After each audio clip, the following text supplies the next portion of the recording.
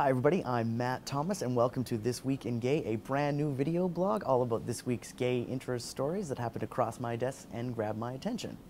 So let's start off with the frustrating tale of uh, Canadian hockey player Sean Avery. Now Sean Avery is a Canadian who plays for the New York Rangers and who has a bit of reputation as uh, being a bit of a metrosexual. Now his love of fashion aside, uh, he decided recently to record a public service announcement in support of marriage equality in New York State.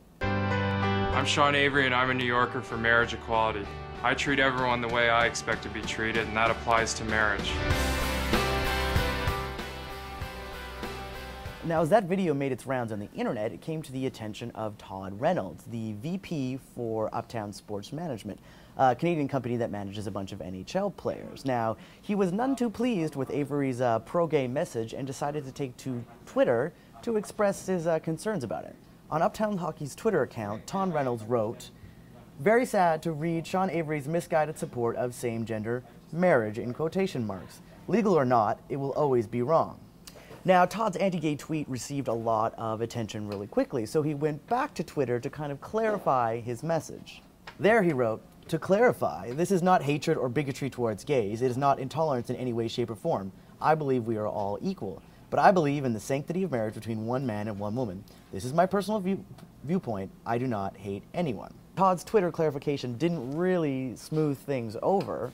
Um, and as the outrage brewed on, uh, Todd's dad, Don, who is the president of Uptown Sports Management, spoke with the National Post newspaper.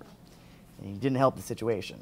Don said, It's not politically correct to, I guess, give your opinion about a thing like that. It's politically correct on the other side for people to say, sure, I support gay marriage, but the majority of, I think, of Canadians would say that they don't agree with gay marriage, that a man and woman were created to be married, not a man or a man, or a man and a horse, you know. Now, many groups are demanding that Uptown Sports Management apologize for these comments, but what do you guys think? Are they entitled to have their own opinion in the situation? Or is it time to start seeing comments like this the same way we see sexism or racism?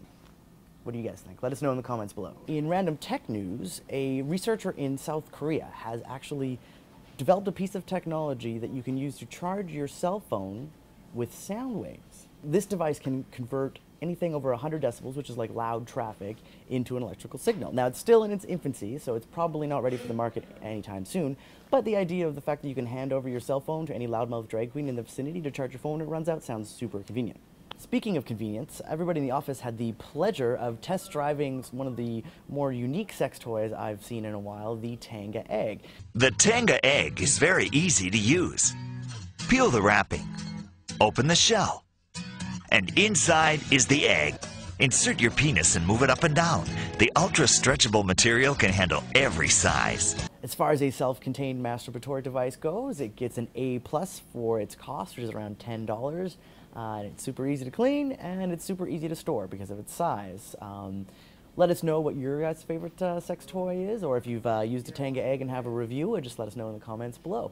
In pop culture news, Lady Gaga released her third single off of Born This Way uh, called The Edge of Glory. Some people love it, some people hate it. I tend to think it sounds like a bad Celine Dion, Kelly Clarkson mashup, but I'm just one man.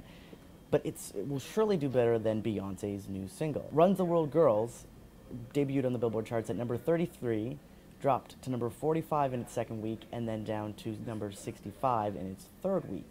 Uh, now, Beyonce planned a super expensive, flashy video uh, to be released this week, but it has been delayed. And we can only hope it is one of the best videos of all time because she really needs it.